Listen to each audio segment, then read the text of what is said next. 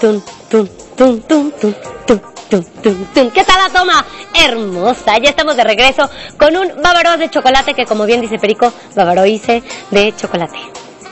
Está delicioso, un postre muy sencillo de hacer, muy rico y además pues tiene bastante este cremita, calcio y pues chocolate. ¿Quién le dice que no es chocolate? Yo no. O sea, yo a mí me dicen chocolate y yo brinco. A mí me encanta y luego con venta esa es mi perdición. Esa es mi verdad. Entre la chela y el chocolate ahí se van, ¿eh? Ah. Bueno, vamos a hacer este bavarois, que es una delicia. Eh, en este caso vamos a utilizar un poco de grenetina, agua, un poco de crema, azúcar glass, chocolate derretido y además unas frambuesitas. Esto es para la decoración. Mmm, está buenísimo, ¿no? Bueno, vamos a hidratar primero.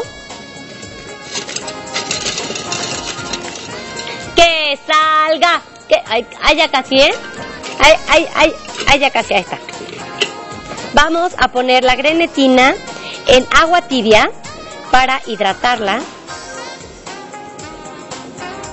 A esto hay que hacerlo en el microondas por partes para que se vaya fundiendo. Entonces yo le voy a dar una mezcladita y vámonos al microondas para que agarre consistencia. Vamos a ponerle unos 10 segunditos, bueno 20. Y mientras tanto vamos a poner aquí en la licuadora la crema. Ande pues, ándele, ándele pues. Esto está buenísimo. Le vamos a agregar el azúcar glass. Mm. Y también un poco de chocolate, que en este caso es chocolate en tabletas que fundimos. Vamos a poner la grenetina también.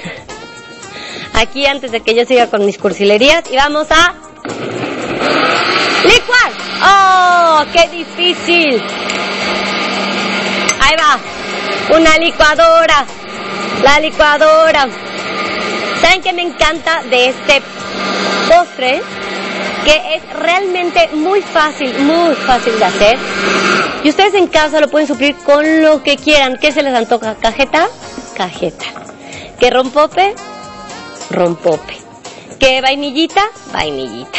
Y pueden hacer su bavarois de fresa, de fresa. Café, café. Le pueden poner lo que ustedes quieran, pero la base ya la tienen, ¿no? Es la crema, la base, la base de esta receta va a ser la crema, el azúcar glass y la grenetina. A partir de ahí ustedes pueden moderar el peso del chocolate por peso de cajeta, por mermelada, por este rompope, por por este crema de whisky, pasitas, chocolates, lo que ustedes quieran. ¿Qué sigue? Bueno, vamos a ponerlo en flaneras individuales. Y lo que vamos a hacer es que lo vamos a meter al refrigerador. Pues a que cuaje. Sale una. No, pues ya empecé yo con mi batidillo, ¿verdad? Salen dos. Y sale otra más. Esto también lo pueden poner en un eh, refractario como de gelatina, uno grande, y también lo pueden hacer ahí, ya ustedes lo parten como quieran, o una copa, ¿por qué no? Vamos a agarrar aquí una copita. Lo pueden poner también en una copa, ya si es una cena más elegantiosa, comida más elegantiosa. O quieren algo donde le entre un poquito más. Esto se ve bueno, ¿no? Y pues ahí tienen la base para hacer un delicioso, sí, sí, sí, sí, sí, sí, Simo Bavarois de chocolate. Refrigerador, vámonos al refrigerador.